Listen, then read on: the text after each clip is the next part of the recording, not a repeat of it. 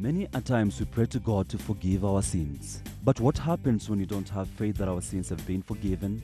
Pastor Oxupak's book Repentance and Faith enlightens us more on how to go about it, referring to specific situations in the Bible. To get a copy of this book, please visit a Chania bookshop along Moi Avenue at only 580 shillings. After years of searching, a native tribe from Africa discovers a new way to quench their thirst.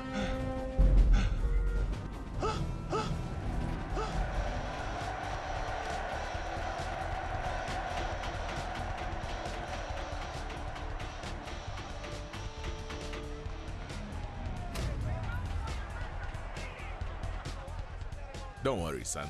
Mom and I will take care of them. Give your family a Vita 500 thirst quenching sensation. And enrich them with vitamin C. Vita 500 Cool taste, healthy living. Available in all supermarkets countrywide.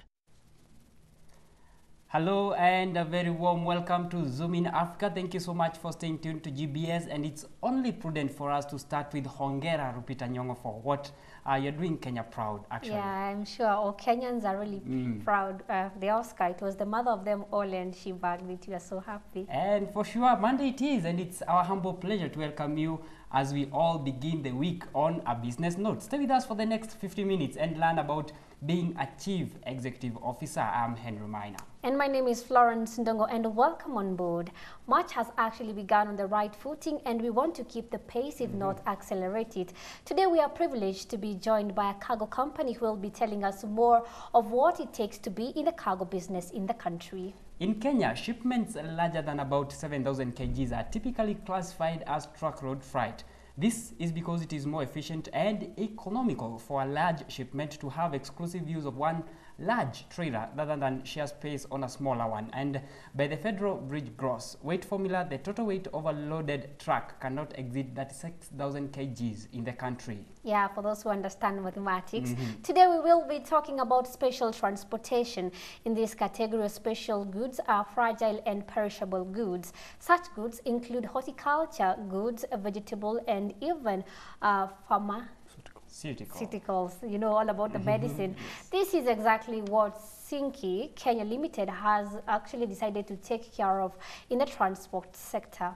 Founded back in 2009 by Victor Ngatia, the company targets small-scale farmers in the horticulture industry by offering transport solutions. And now it started with only two clients and hiring trucks. Now it is a 1 million shillings, uh, okay, rather than the 1 million uh, starting capital farm has over 30 clients and boasts of over 40 million annual turnover and has never disappointed its clients. Today we meet Victor Ngatia, the CEO of Cynkey Kenya Limited, a contraction of his wife's and daughter's name that is Cynthia and Keisha. Wow, I know um, when it comes to business, you guys, you can't miss being here on a Monday. We actually talk to CEOs and actually our CEOs to talk to CEOs wannabe. And today is not different. And I have a feeling today's show is, is going to be amazing. Mr. Ngatia, thank you so much for joining us on set today. Thank you very much. Yes, briefly introduce your company. Oh, Cynkey Limited, I think that's where we are, and I'm glad to be here. Uh, let me say, I'm also very proud that Lupita did us proud today. Sure. Okay. Cynkey Limited uh, formed, as you said, in the year 2009, although having started business a bit earlier. That is back in 2006, 2007 there. Uh, we have a niche in the sense that we do specialized transportation. We don't just move goods. By that I mean we have uh, temperature controlled transportation. Uh, we have uh, packaging in transportation.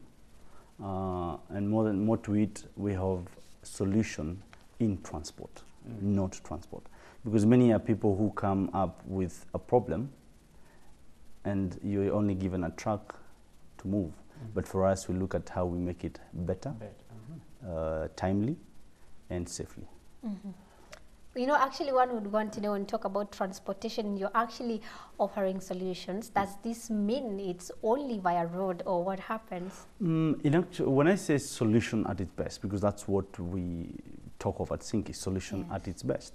Oh, you come up with a problem. You want to move, for example, let's say you want to move jet fuel, or you want to move fuel that is highly inflammable, and you want to move it from point A to point B.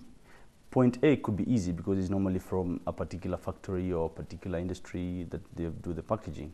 But where you're taking it for consumption, that should be maybe deep in Masai Mara, mm-hmm. or it could be somewhere far like Lamu. Yes. And before you get to such areas, there is a load that you go through. Number one will be a simple tarmac road. Number two will be an off-road. Mm-hmm. Number three will be maybe water. I mean, if you have to move all these things and you are a client, it's not your problem. I think it is our problem to give the solution that we deliver to whatever you want the cargo delivered for consumption.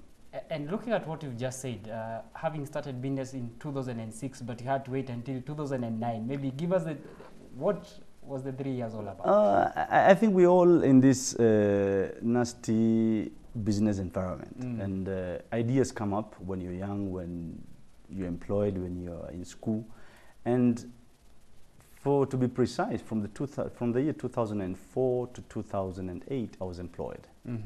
and uh, in that particular setup, I was uh, in charge of a particular department, and as I offered solutions through employment, there are very, very, very many people who got to learn or got the, get, got the wind of what I do in this very big company. And they opted to get my solutions as well to sort them out. And in this, you know, when, when you have a company that would have particular clientele that they want to stick to, so they can make sure that the clients are satisfied, the quality of uh, service is tip top. Mm. So, you know, the name is everything. Mm. These other small people who come in may not really fit in that setup, but they keep pushing you as a solution provider to mm. sort out to sort them out. So that mm-hmm. is how Cynkey came up. Mm-hmm. You know, uh, I'm, I'm giving a mm-hmm. solution, uh, and they really want it. So in my absence, Cynkey Okay. was born. All right. And then finally in 28, of course, I had to resign because if you need to go to, to, to bring up this small baby, mm-hmm. then it needs your time and your input 100%. Mm-hmm.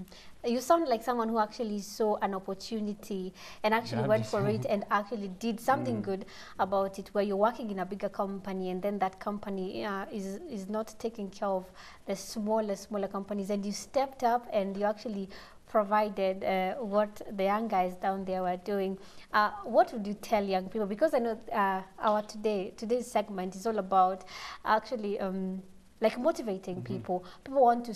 People always sit back and say, you know, someday in future I'm gonna be a CEO and I'll have my own company. But really, most of them, I don't think they actually even take uh, the initiative to see an opportunity and take it. And as we were talking on earlier, you talked something about uh, seeing things positively and negatively. What would you advise such people? On that note, uh, there was a s- uh, there was a, a saying that went like, you either see the glass half full or half empty, but we're seeing the same thing. But since yours is negative, you're seeing it half empty, and I see it half full. Then mine is an opportunity. Yours is an impediment, because you would wish it to be full, but since it's half and it's empty towards it's, it's, it's, it's half empty, then you don't change that into anything productive mm-hmm. or to any business that you may think. Many people look at starting a business, you need capital. And many people will tell you, I don't have capital, so I can't start the business. Mm-hmm. So uh, I, I think the only way to think through that is what do you need to do to get the capital? Mm-hmm. I mean, many, I'm, I'm sure you've heard of many people who started their business with 10,000 shillings, 1,000 shillings, or 500 shillings. 500 shillings. Yeah. But they did not look at that as half empty mm. of a glass. They looked at it as a positive move. Mm. Yeah. If I made it two, tomorrow I'll have a thousand. The following day I'll have a thousand five hundred.